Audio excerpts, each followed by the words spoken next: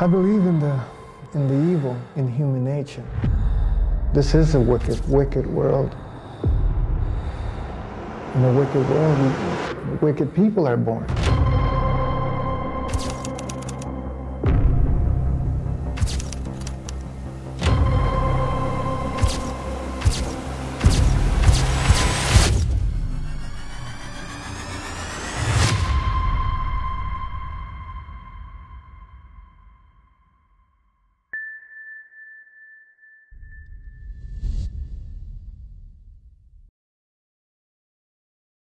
Эта история началась в 2000 году в Польше. В ручье обнаружили тело мужчины в 98 километрах от его дома в городе Вроцлав. На шее жертвы была надета петля, а руки связаны за спиной. Часть веревки, которая, по-видимому, была перерезана ножом, когда-то соединяла его руки с шеей, удерживая мужчину в мучительном положении. Малейшее шевеление заставило бы петлю затянуться еще сильнее. Не было никаких сомнений в том, что мужчина был убит. Из одежды на нем были только толстовка и нижнее белье. Патологоанатом определил, что в кишечнике жертвы практически не было пищи, что указывало на то, что его морили голодом в течение нескольких дней, прежде чем он был убит.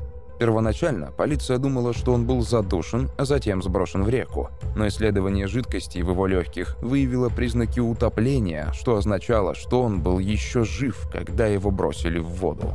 Личность убитого длинноволосого мужчины установили быстро. Он подходил по описанию на 35-летнего бизнесмена по имени Дариуш Янишевский, который на тот момент находился в розыске. Об исчезновении Янишевского заявила его жена почти 4 недели назад. В последний раз его видели 13 ноября, когда он покидал принадлежащую ему небольшую рекламную фирму, расположенную в центре Вроцлава.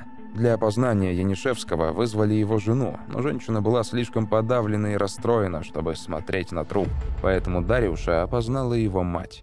Она сразу узнала его длинные волосы и родимое пятно на груди. Всех напугало и озадачило это преступление. Началось серьезное расследование. Аквалангисты ныряли в холодную реку в поисках улик, в то время как криминалисты прочесывали ближайший лес. Были допрошены десятки людей и изучены деловые документы Янишевского, но ничего примечательного обнаружить не удалось. Дариуш был женат 8 лет, со слов жены между ними крупных ссор и конфликтов не было. Она отметила, что у них был небольшой период разногласий, но они смогли его преодолеть и планировали усыновить ребенка из детского дома. Друзья и знакомые описывали Дариуша как мягкого человека, гитариста-любителя, который сочинял музыку для своей рок-группы. «Он был не из тех людей, которые провоцируют драки», — говорила его жена. «Он никому не причинял вреда. Несмотря на масштабное расследование, полиция не смогла найти никаких серьезных зацепок по убийству и дело было закрыто через 6 месяцев из-за неспособности найти преступника или исполнителей.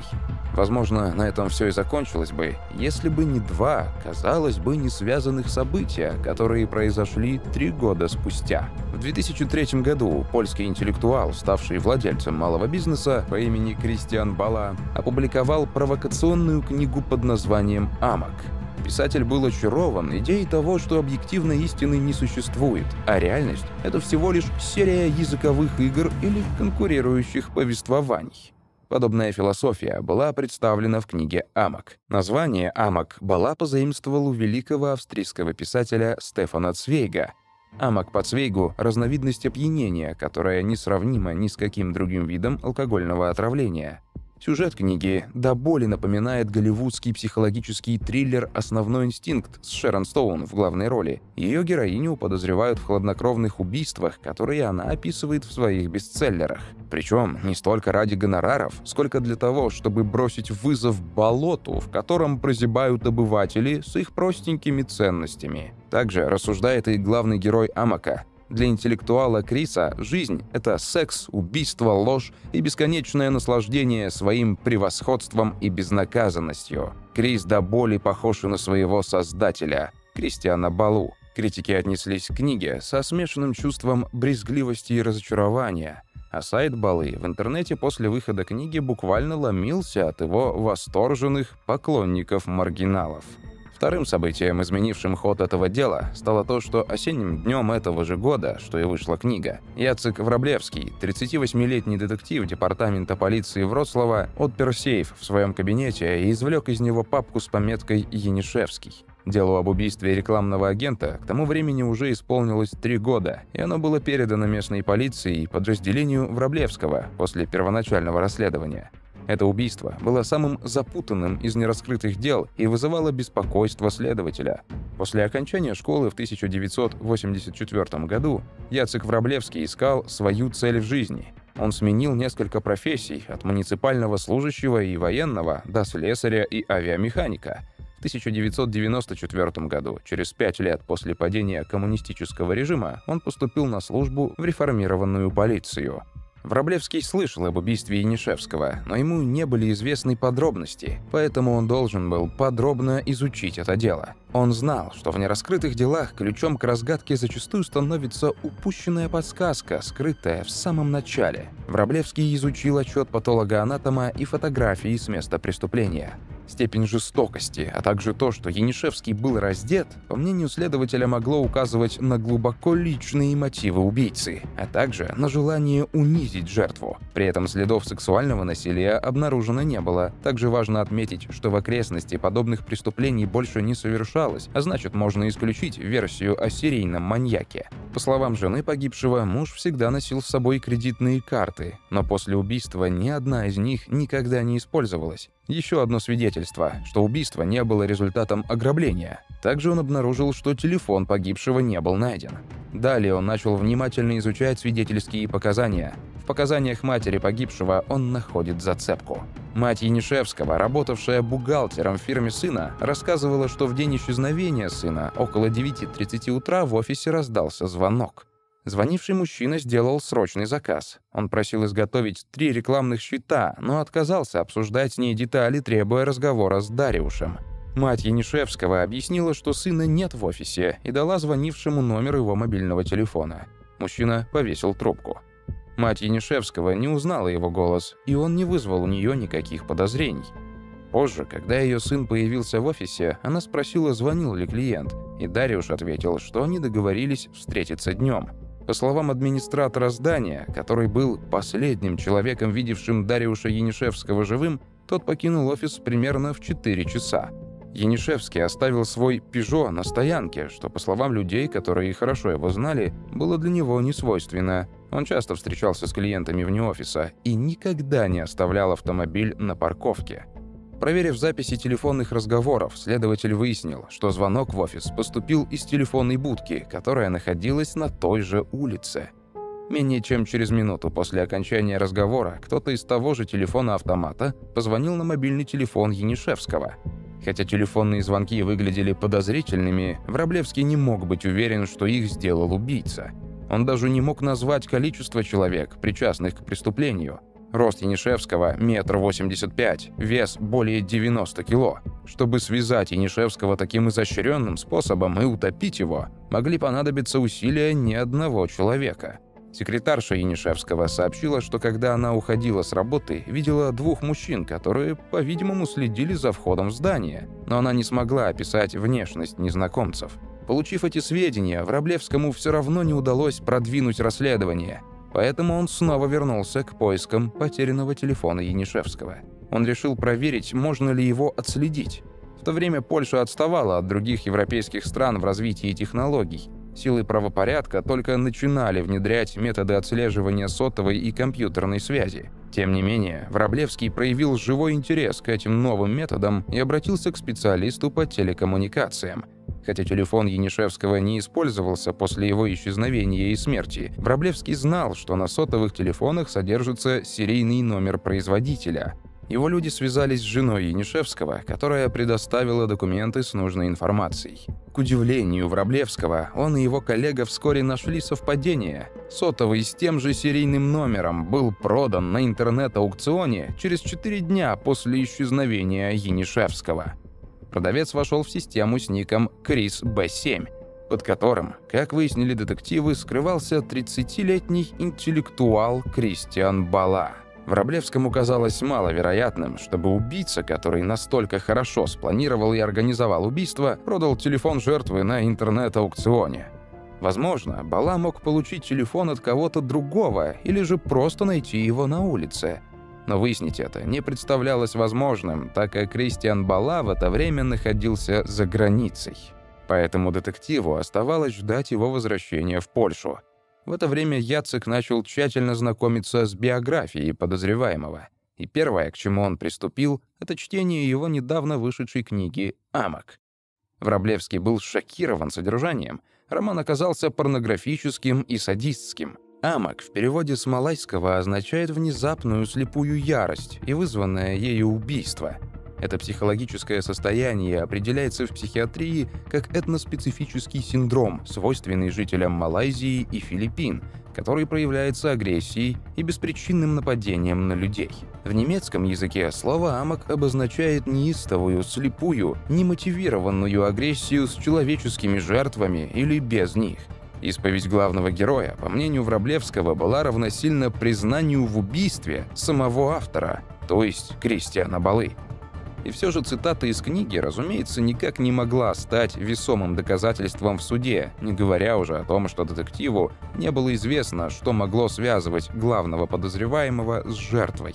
Враблевский понимал, что ему нужны весомые доказательства, а также мотив преступления. Возобновленное расследование началось с того, что детектив раздал копии романа «Амок» своим сотрудникам. Каждому он назначил по главе для литературного анализа. Его интересовали упущенные детали, возможные зашифрованные сообщения и любые параллели с реальностью. Сам Враблевский при этом тоже продолжал тщательно изучать текст, став, пожалуй, самым внимательным читателем творения Кристиана Балы. Вместе с тем, детектив не спешил опрашивать родственников автора, предпочитая действовать осторожно. На тот момент Бала все еще был за границей, то есть вне досягаемости для польской полиции – Любые активные действия могли заставить его залечь на дно. Вместо этого Враблевский и его команда начали с изучения публичных архивов и допросов более отдаленных приятелей Балы, постепенно сравнивая автора с его литературным альтер-эго. Сходства были налицо. Как и протагонист романа, автор развелся с женой, много пил, увлекался философией и путешествовал по миру. Вот что еще удалось узнать об авторе романа. С 1992 по 1997 год Бала учился в Вроцлавском университете и считался самым ярким студентом-философом. В ночь перед экзаменом, пока другие студенты зубрили, он пьянствовал, а потом утром появлялся на экзамене с похмелья, растрепанный, и получал самые высокие высокие оценки. Одногруппники и преподаватели Бала отмечали его ненасытный аппетит к учебе и пытливый мятежный ум. Кристиана привлекали радикальные воззрения Людвига Витгенштейна, который утверждал, что язык, как игра в шахматы, по сути является социальной деятельностью. Бала часто называл Витгенштейна своим учителем. Отец Кристиана, Станислав, который был строителем и водителем такси, гордился достижениями сына. Иногда он уезжал на заработки во Францию и часто брал с собой Кристиана, где тот подзарабатывал на учебу. Во время таких поездок Бала очаровался французскими постмодернистами, такими как Жак Деррида и Мишель Фуко. Его особенно интересовала идея Деррида о том, что язык не только слишком нестабилен, чтобы указать на какую-либо абсолютную истину. Человеческая идентичность сама по себе является податливым продуктом языка – Бала написал диссертацию о Ричарде Рорти, американском философе, который заявлял «Отречься от понятия истины человеческого значит отказаться от попытки обожествить себя как замену обожествленному миру». При этом Кристиан Бала истолковал идеи этих мыслителей по-своему, вплетая их в свою собственную философию. Чтобы развлечься, он начал сочинять мифы о себе – Какое-нибудь невероятное приключение в Париже или роман со школьным товарищем. Он рассказывал друзьям небылицы о себе, выдавая их за правду. Один передавал рассказ Кристиану другому и так далее. Отличить правду от вымысла становилось невозможно. Выдумка превращалась в правду, и вскоре его друзьям становилось сложно отличить настоящего Кристиана от того, которого он придумал. Он хотел раздвинуть границы языка и человеческого существования, освободиться от лицемерия и угнетающих истин западного общества, включая табу на секс и наркотики. В 1995 году, вопреки распутной жизни, Бала женился на своей школьной возлюбленной Станиславе, или Стасе, как он ее называл. Стася бросила школу и стала работать секретаршей.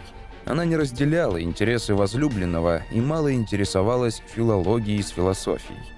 Мать Кристиана была против этого брака, считая, что Станислава не подходит ее сыну.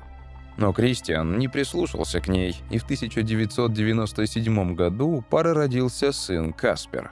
В том же году Кристиан окончил университет и поступил в аспирантуру по философии – Хотя он получил полную академическую стипендию, денег не хватало на то, чтобы содержать семью, и Бала оставил учебу, открыв бизнес. Бала оказался никудышным бизнесменом. Коллеги говорили, что вместо инвестирования денег он просто тратил их. В 2000 году Кристиан заявил о банкротстве, и в этом же году его брак распался. Станислава говорила, что основной проблемой были женщины – она долго мирилась с постоянными изменами, но в конце концов ее терпению пришел конец, и она подала на развод. После развода в расстроенных чувствах Кристиан покинул Польшу, отправившись в США, а затем в Азию, где преподавал английский язык и подводное плавание. Еще в досье Бала Враблевский обнаружил примечательный эпизод. Кристиана однажды задержала полиция – и когда Враблевский получил официальный отчет об этом событии, он понял, что он уже читал об этом в романе. Бала пришел к своему другу Павлу и распил с ним бутылку спиртного. Они выпивали всю ночь. Когда же запасы алкоголя иссякли, уже под утро друзья решили сходить еще за одной бутылкой. Путь из магазина пролегал мимо церкви. Они решили зайти внутрь и увидели там гипсовую фигуру святого Антония. Друзья решили забрать ее с собой. На вопрос задержавших их полицейских, зачем они это сделали, Бала ответил, «Нам был нужен кто-то третий».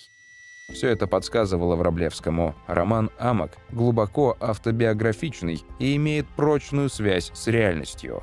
Он даже запросил психологическую экспертизу вымышленного персонажа романа Криса, чтобы лучше понять реального Кристиана. Психолог написал в своем отчете, что Крис – эгоцентричный человек с большими интеллектуальными амбициями – он воспринимает себя интеллектуалом с собственной философией. В его действиях проявляются черты психопатического поведения. Он проверяет границы дозволенного, чтобы понять, действительно ли может осуществить садистские фантазии. Он относится к людям с неуважением, считая их ниже себя манипулирует ими для реализации собственных потребностей и полон решимости удовлетворить сексуальные фантазии гедонистическим способом. Такое поведение может быть вызвано психологическими травмами, неуверенностью, патологическими отношениями с родителями или гомосексуальными наклонностями. Психолог признал наличие связей между Кристианом и Крисом, таких как развод с женой и философские интересы, Однако отметил, что подобные совпадения характерны для романистов, завершив отчет строгим предупреждением. Основывать психологический анализ личности автора на основании анализа вымышленного персонажа было бы грубым нарушением. И все же, все это никак нельзя было назвать уликами, потому Враблевский продолжал свой поиск улик. И ему удалось раскопать очень странное совпадение – в феврале 2002 года польская телевизионная программа «997», которая освещает громкие криминальные расследования, выпустила в эфир сюжет, посвященный убийству Янишевского. После этого на официальном сайте телешоу были опубликованы последние новости о ходе расследования. Враблевский внимательно проанализировал полученные отклики на телевизионную передачу – но за несколько лет сотни пользователей, посетивших веб-сайт телешоу, не сообщили ничего, что могло бы помочь в расследовании. Но сыщики обратили внимание на важную деталь.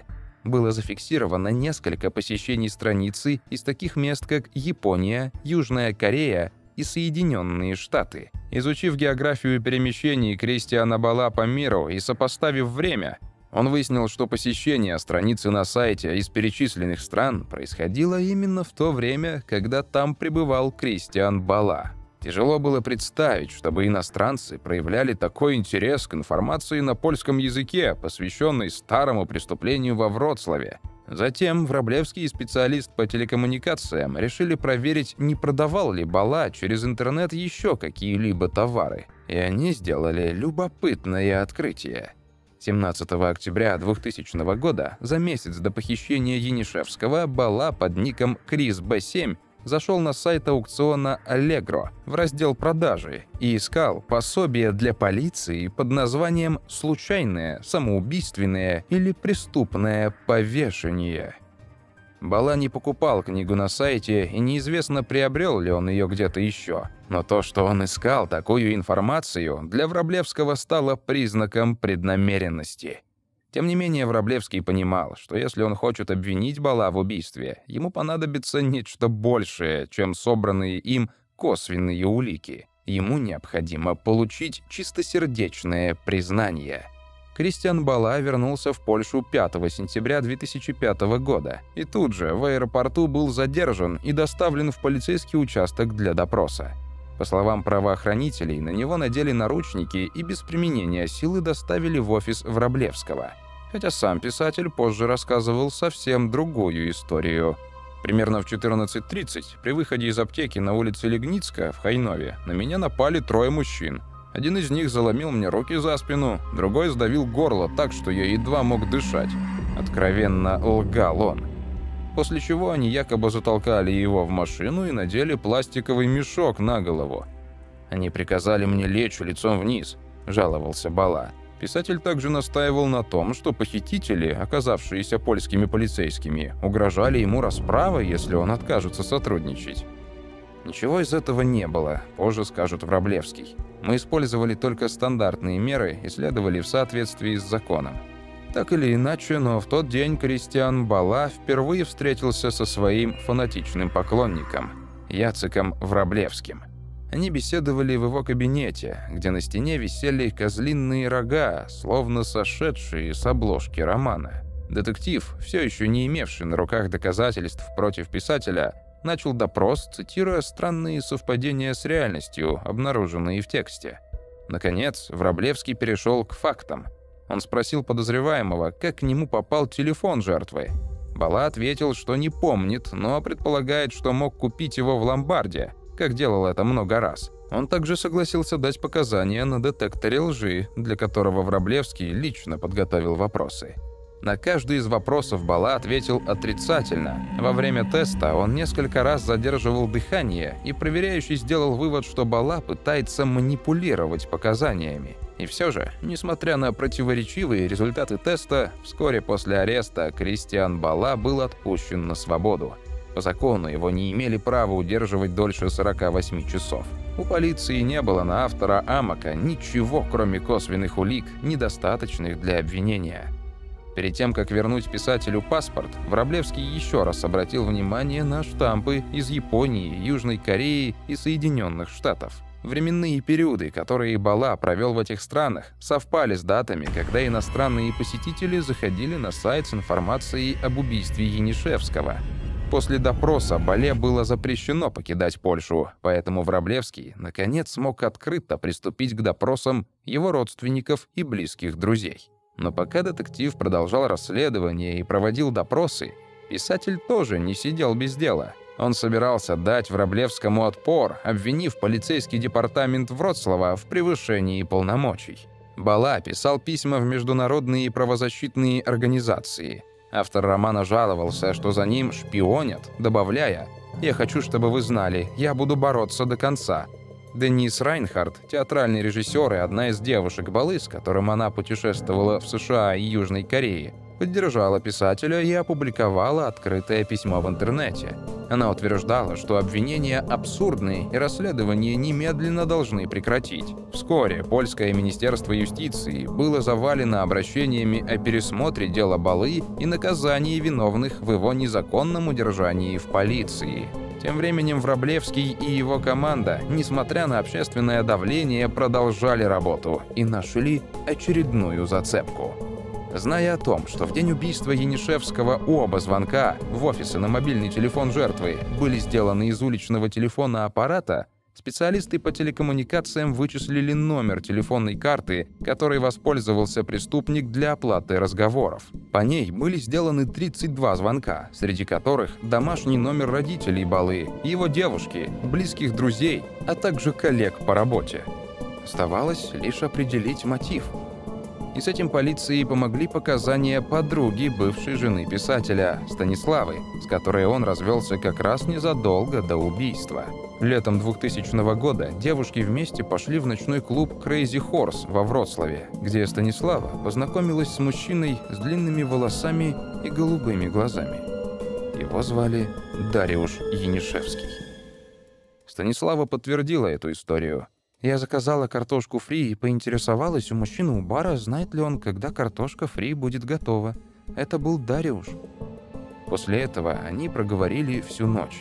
И Янишевский дал ей свой номер. Позже они сходили на свидание и даже сняли номер в отеле. Но прежде чем что-либо произошло, Янишевский признался, что женат. Девушку смутил этот факт, и она ушла.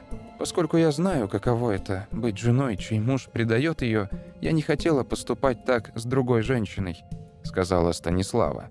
Янишевский и Станислава больше никогда не виделись но Бала посчитал, что его бывшая жена изменила ему. Он нанимал частного детектива, и тот сообщил Кристиану об их встрече в отеле. Несколько недель спустя философ и интеллектуал явился к своей бывшей жене в пьяном угаре, выломал входную дверь и ударил женщину. Он также упомянул, что был в офисе Дариуша и описал мне его, вспоминала Станислава. Потом он сказал, что знает, в какой отель мы приезжали и в каком номере были. Это было прямое доказательство того, что Бала видел и знал жертву. У детектива Враблевского больше не оставалось сомнений в личности преступника. Итак, основным мотивом убийства является ревность. В итоге суд над Кристианом Бала состоялся в 2008 году, и его приговорили к 25 годам лишения свободы. Своей вины он так и не признал. Суд постановил, что Балас планировал и руководил убийством, но отметил, что не было достаточно доказательств, чтобы обвинить его в исполнении самого убийства. Адвокат Балы, Кэрол Виглинский, подчеркнул, что в ходе судебного разбирательства до сих пор не ясно, что происходило с жертвой в течение последних трех дней его жизни и где находился обвиняемый в течение этого времени. Прокуроры заявили, что Бала признался в убийстве во время допроса, но позже отказался от своих показаний. Мужчина утверждал, что полиция вынудила его сделать признание. Благодаря СМИ книга «Амок» на несколько лет стала бестселлером, однако после осуждения общества исчезла из продажи. Но его автор, видимо, не собирался останавливаться на одном романе. Незадолго до ареста Кристиана Балы на его компьютере были найдены записи, указывающие на то, что он планировал новое убийство – уже находясь в тюрьме, писатель объявил, что работает над новой книгой под названием «The Lyric». Это каламбур. Я объединил в названии лирику и бред, то есть делирий. Дорогие подписчики и гости канала, как вы думаете, действительно ли Кристиан Бала только руководил похищением и пытками Дариуша Янишевского, а не убивал его? Может быть, у него был сообщник? Если бы Бала не оказался в тюрьме, Мог ли он совершить еще одно преступление ради создания своего нового произведения? Свои ответы оставляйте в комментариях.